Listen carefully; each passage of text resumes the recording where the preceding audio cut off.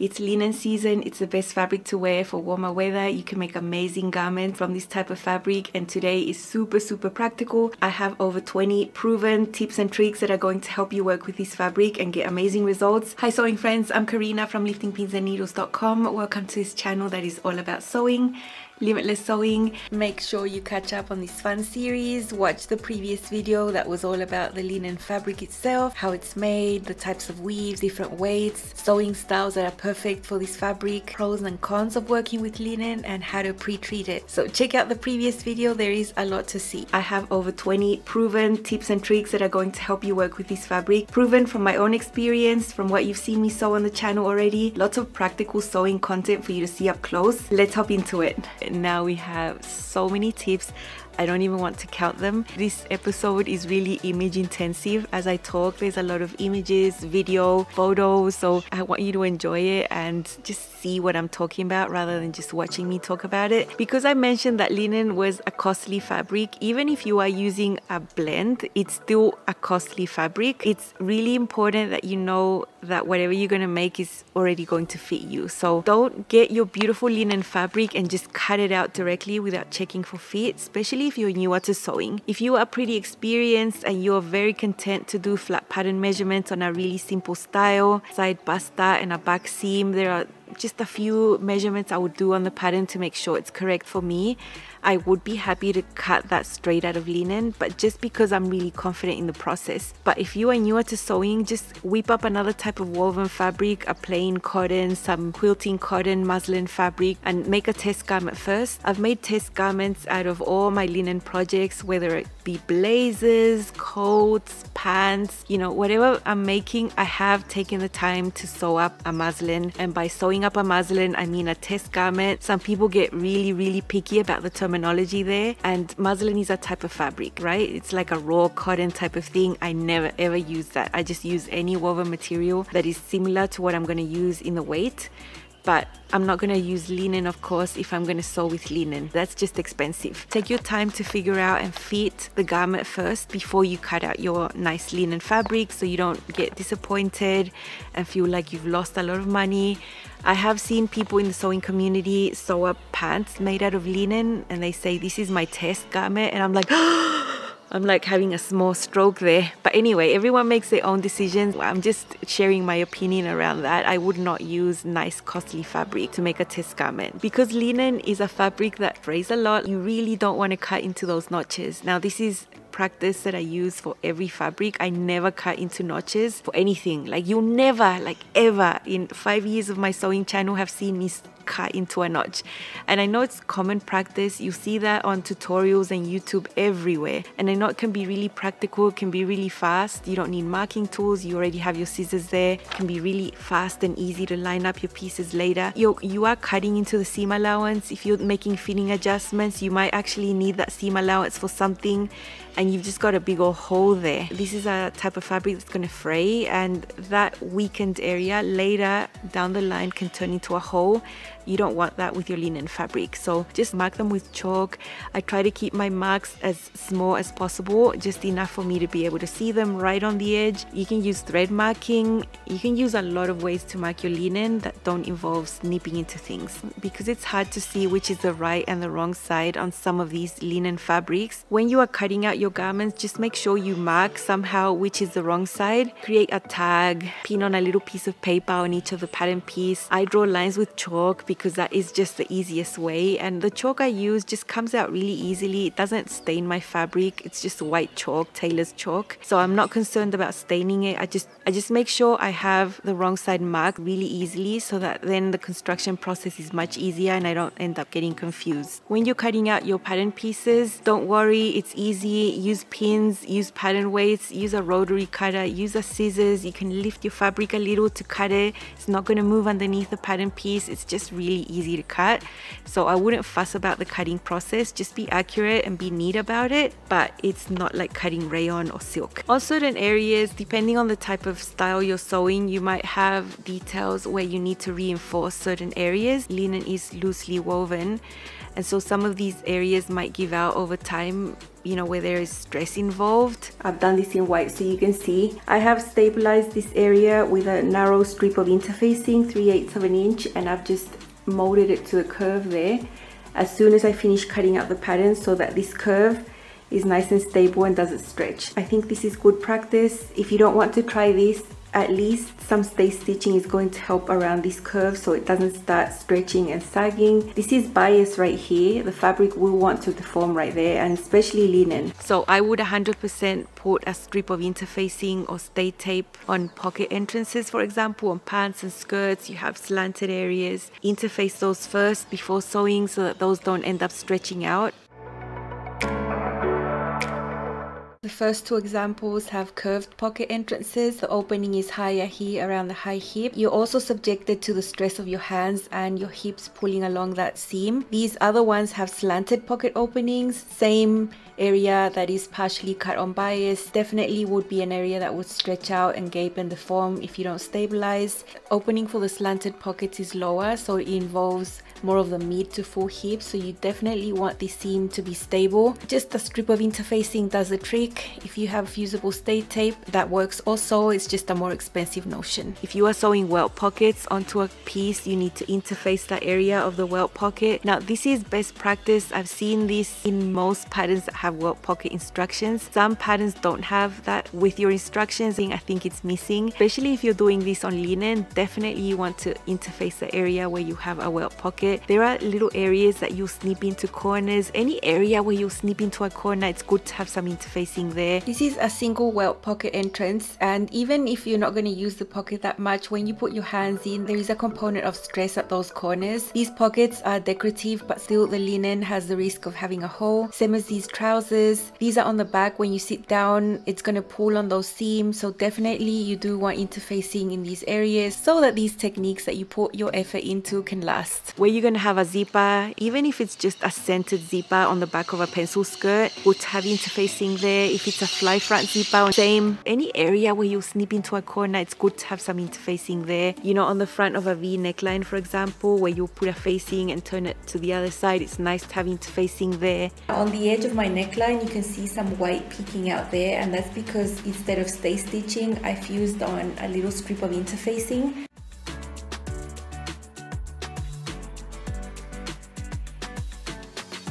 If you're sewing a blouse that has a button band, all the area also needs to be interfaced because you need that extra structure there to hold up the sewing of the buttons and the buttonholes.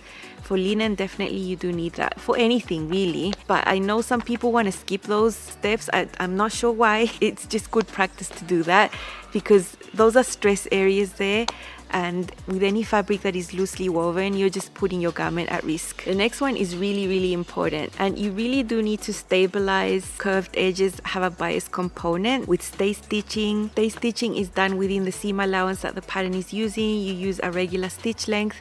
I like to do stay stitching directionally which means you're doing it in the same direction. So from shoulders down along a sleeveless armhole for example from the shoulders in towards the center for a neckline for yokes for edges of anything.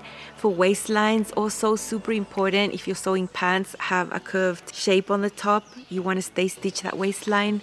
Now a step above stay stitching would be to fuse strips of interfacing or fusible stay tape. I know that notion exists. I just don't have it. I, I can't buy it. And I know it's a really expensive type of notion. If you want to use yardage of that, it can get really expensive. But you can make your own. You can just use really lightweight, non-stretch fusible interfacing. Just cut your own long strips and use those to stabilize those areas. I do that a lot on necklines, on waistlines, especially for pants, and it works a treat. Another step above stay stitching or interfacing that edge would be to use a piece of selvage. So say for example you're sewing a pair of pants or a skirt that is pretty fitted and the way that this is finished is with the facing inside, not a separate waistband, that top edge there of your skirt or pant could be finished also after stay stitching with some twill tape right on the edge. It's going to be within the seam allowance If you don't have twill tape, you can just cut edges of selvage, of cotton selvage. That is what I do. And you just sew that right on the edge of the waist. Once you have your pant or your skirt constructed, it's going to keep that structure there without it stretching out over time. Once you have that stabilized, then you can go on and sew your facing. So that is another step above stay stitching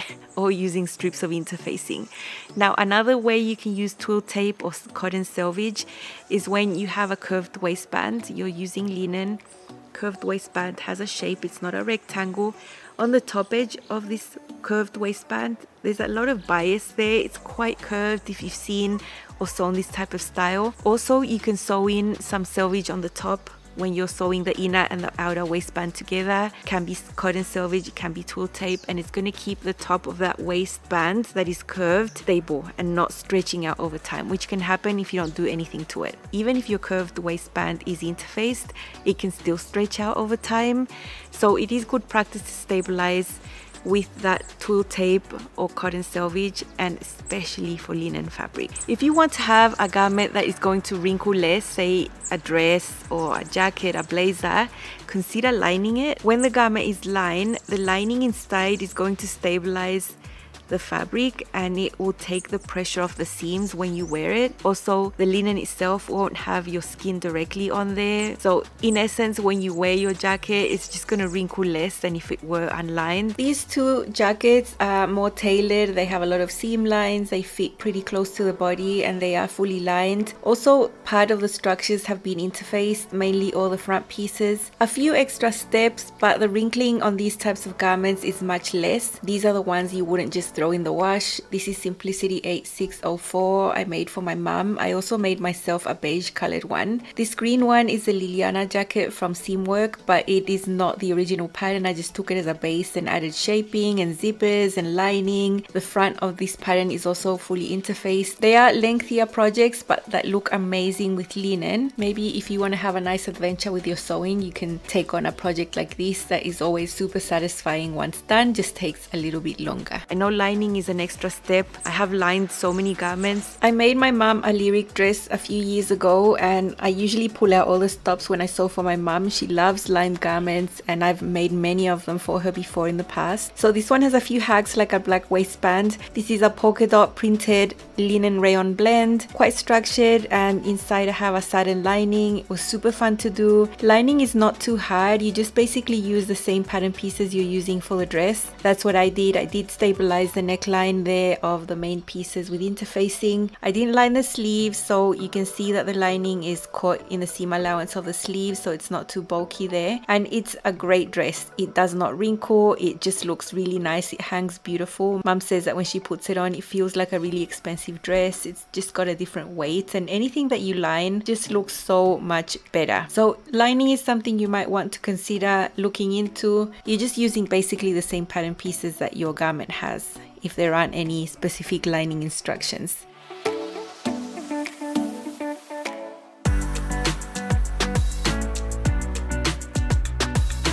Also, if you're making pants that are a bit more tailored, that are part of a suit set, you can consider lining half of those pants with silk organza or lining fabric and that is also going to prevent the back of the pants from stretching out and the knees. Of course these types of lined garments are going to be more labor intensive and those are the ones you want to dry clean afterwards so you don't ruin all your beautiful work. One thing you don't want to do with your linen garment is stretch it while you sew.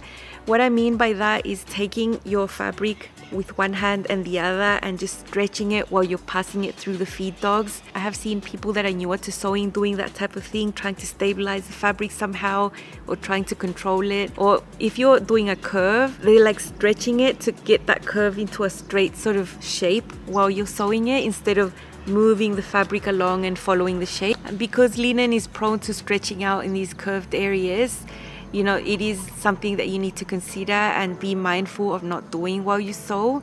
Of course, you can steam and press and maybe recover some of the shape, but sometimes it's just being stretched out too much and then the garment is not, just not going to hang correctly. Where this might happen is on princess seams, for example, where you're trying to fit two shapes and two curves differently, one to the other. So just be careful with that. Try to follow the shape that you're sewing. Let the feed dogs do their thing just hold your fabric and just guide it through, but don't pull it or stretch it out of shape. The best needles are just your typical universal needles. The number just depends on the weight that you're using. If it's light to medium weight, 80 would be okay. If it's a heavier weight, 90. If it's really heavy and you're going through a lot of layers, maybe you even want to use 100, the number 100 on it. So it just depends. I have some linen in my stash that is sort of like a raw linen because of the color it is so, so fine and so sheer and so transparent. I would probably use a 60 with that one because it's just so fine. You do need a newer needle that is nice and sharp. You don't want a blunt old needle that might snag on your fabric and start pulling it and breaking your fibers. So just be careful with that. Polyester thread is going to work really well. It's a really strong thread. It's fine. It usually doesn't have lint, although you could use cotton thread if you really wanted to, but I would just stick with the polyester thread. I think it's just easier to work with also. It doesn't break at your needle sometimes, so it's, it's a nicer thread. The next step is one that I would say is good practice, but that I don't follow that much and is pressing your seams while you go.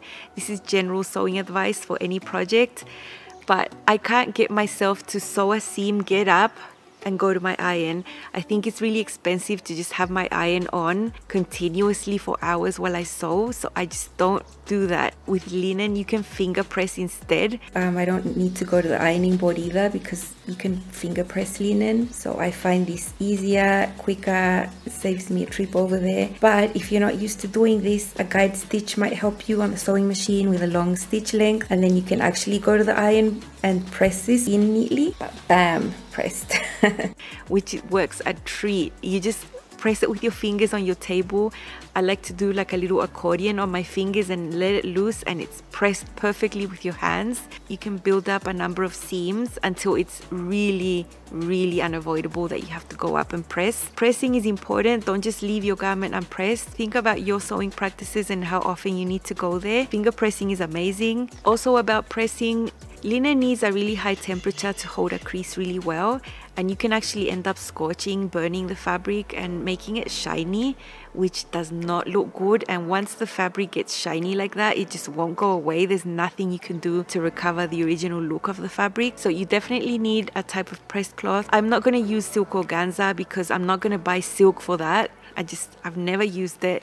What I have is cotton really lightweight cotton white color that I can see through it and that's what I use to press my seams as I go. I mentioned before that linen frays a lot, so you do need to finish these seams. And you can study what type of seam finish you want to do depending on the garment's weight, depending on how heavy your linen fabric is. So if you're using a really lightweight linen, you might want to do some of the seams with French seams. There's no rule that says that you have to finish all the seams in the same way. The important thing to accomplish is that the seams are protected and it looks neat inside. So I would generally sew straight seams with the French seams, shoulder seams, side seams, and then I would sew sleeves with my machine and just do a serged edge. I really dislike French seams on curved seams and I know some of you in the comments have told me that you can do them. I've never said you can't do them. You can do them. They are just really uncomfortable for me and it just prevents you having a good range of motion on the sleeve. That is my opinion. Of course you can French seam the sleeve. I just personally don't like it. All of us have the right to make up our minds and have our preferences and I share mine on my sewing channel. so it's perfectly fine for me to sew some of them with a French seam and others just with a serged edge. Serging the edges of linen is perfectly fine. It's not an inferior technique to finish your seams. It's perfectly fine. It's going to protect the edges and it's going to look neat inside also. Now, if you're working with more medium to heavyweight linen, French seams are a no-go. That is just too bulky. It's just not going to look good. So you can sew your seams normally and just sew and serge. Why am I not mentioning zigzags here? Because zigzags, they don't do the best job at protecting the edges of seams. I have used zigzags in the past with linen and they still end up fraying over time. It just, yeah, I, I just, I personally don't like zigzagging. It doesn't mean that you can't. You can. One fun thing that you can do is bind the edges of your seams. I have done this with a few projects and that is really pretty inside. You're not going to see it on the outside. No one's going to know. One thing I would say though is just try to bind with something that is really, really lightweight so it doesn't add to the bulk of the fabric. So I've made bias tape out of rayon, really lightweight rayon, and I've bound seams with that. I did that with this orange shirt and it's so beautiful inside. I even did the mitered corners of the side vents with that binding already there on the edges. So that is really, really pretty. I've also bound edges of a linen jacket with satin. So I made yardage and yardage of that material. It was really, really lightweight. I've also bound facings with chiffon. I have made bias tape out of chiffon and that's been amazing. I bound that edge of the facing with leftover chiffon bias tape that I'd made for another project. Just try to look for a material that's lightweight. I wouldn't use store-bought bias tape to bind the edges inside. I think that's just really bulky and stiff. I'm really not a fan of cotton for binding the insides of jackets because it can turn out really bulky. That's just my opinion though. Technically you could. But the hem, I have some things to say. If I don't have a matching serger thread for my garment. I don't want to just serge the bottom of the skirt or pant or whatever I'm making with any other color and just fold it up because that's not going to look as nice. Sure, the edges inside, you can serge them with a different color. No one's going to see them. But if you are walking around, you know, you have the potential of that serged edge being seen from the outside. It just depends on what you're doing and what type of garment it is.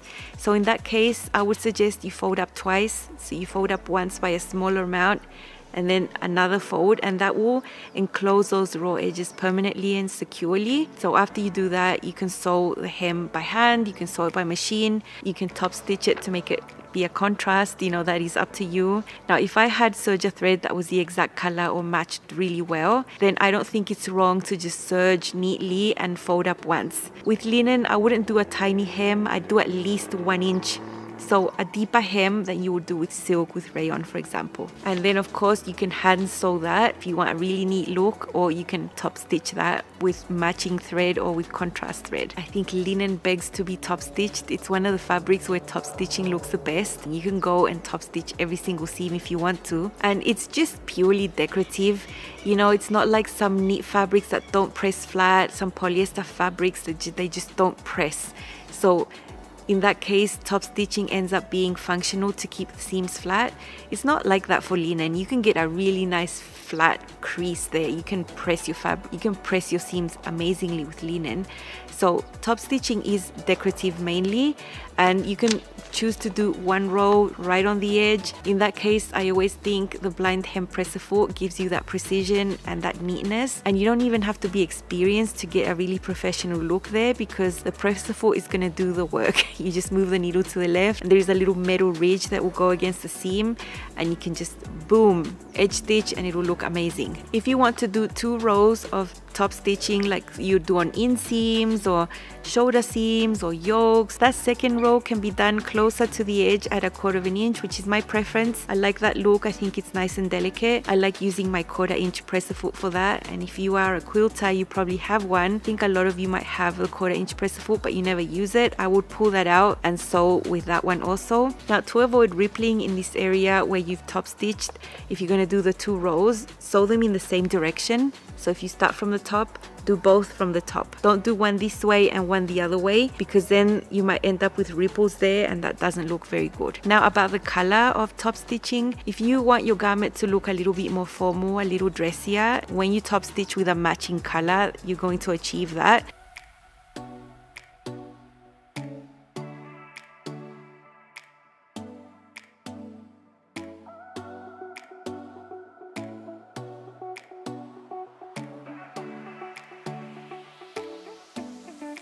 If you do top stitch with something contrasting, like if you're sewing navy pants and you're top stitching in a beige color, that contrast is just gonna make your garment look a bit more casual.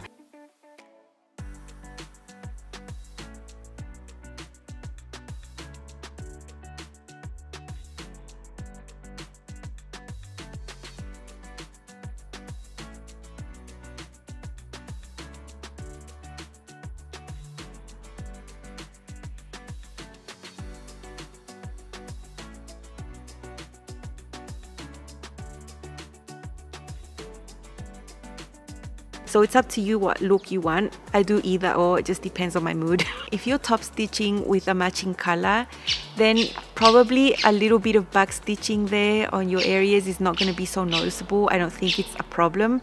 But if you're using contrasting color thread, I would not backstitch there because then it just looks ugly. It just gets really bulky. In that case, I would just start sewing, leave a long thread, push it back and knot it by hand. Same as like if you're doing a hem, you're going around, you don't want to get to the area where you started and do that because you're going to see that. Now when I started sewing this down, I didn't back tack. I left two threads there, just left them loose. Now I thread them with a needle and I can thread all this to the back and make a few knots at the back just by hand that means that I won't have the bulk of back tacking along the facing. I really wouldn't want to have that there. It would look bulky and ugly. If you have a pattern that has an area with some gathers, because the fabric is a little stiffer, they will sort of stand out from the body a little more. So in my personal sewing practice, I usually don't sew garments that have gathers with linen. But you might want to, and you might have a beautiful, really lightweight linen that you want to use. So that is no drama. Just do your gathers as usual. Do your two rows of long stitch length, gather your item when, once you have it fitting into the area you're gathering it into. What could make it easier to sew is that you give it some steam and press that area flat. Before sewing it will be less bulky and it will be easier to sew those gathers on rather than having all the bulk of, of the fabric just on its own like that without pressing. So that's just one tip that I never do because I never sew gathers with linen but you might want to. If you're sewing dresses or tops blouses Finishing necklines and armholes works really well with self-bias tape. So if you have little bits left over from your linen, make bias tape out of that and it works perfectly. You know, you can steam the linen. Linen gives so it will really conform to your curves there and you don't need that bias tape to be super narrow like I've shown you in other bias binding technique videos where I prefer a narrow binding on the inside. But with linen, you can get away with it being a little wider, not super wide, but 5 eighths of an inch wide. You know, it will conform to the curve there and it will look really beautiful. And it's an acceptable way to finish necklines and armholes. Facings are also acceptable to finish necklines and armholes. You know, you can find facings on the waist for pants and, and skirts and it's so comfortable when you wear garments that are designed like that. As usual, if you have facings, waistbands, cuffs, collars, just block fuse them. It'll give you the best result. You won't end up with smaller pieces. Linen does react to the glue on the interfacing and I know by experience in the past I used to fuse my facings and end up with smaller facings. Can happen to all fabrics and linen it definitely does. Block fuse I've shown you many many times before. You can see some images here. Just figure out how much fabric you need interface that first let the fabric shrink let it do its thing and then put your facing pieces or whatever pieces you need and then cut them out. That's valid for any fabric, it's also valid for working with linen of course. Before cutting open your buttonholes or when you've sort of finished the process of sewing welt pockets or a V, any area that you might have weakened with a little snip into there, just put a dot of fray check there let it dry. That will give you a lot of peace of mind for the future that that item is a little bit more protected. Now i'm all into linen right now. You'll see a bit of content surrounding linen these next couple of days. You know last month i had a large topic around rayon. Now i've chosen linen. And i'll try to cover different types of fabric like that as time goes on. I know it's really practical and i know you always enjoy it because you leave me comments I hope you enjoy this content. I have made a playlist as always when I do a mini series so that it's easy for you to click on one link and find all the content there. So I'll leave you all the links down below. Remember during the month of June I am focusing on linen as much as I can. It doesn't mean you won't see other projects made out of neat fabrics you probably will but there will be a large chunk of the content for this month focused on linen You'll see linen pants, dresses, all sorts. Some inspiration. I'm planning to also share my linen collection with you so you can get some ideas. So lots of fun coming your way, all about linen. Make sure you subscribe, tap on the bell so you don't miss out all the fun content I'm making for you every single month. I'll see you back here again with more sewing very soon. Bye.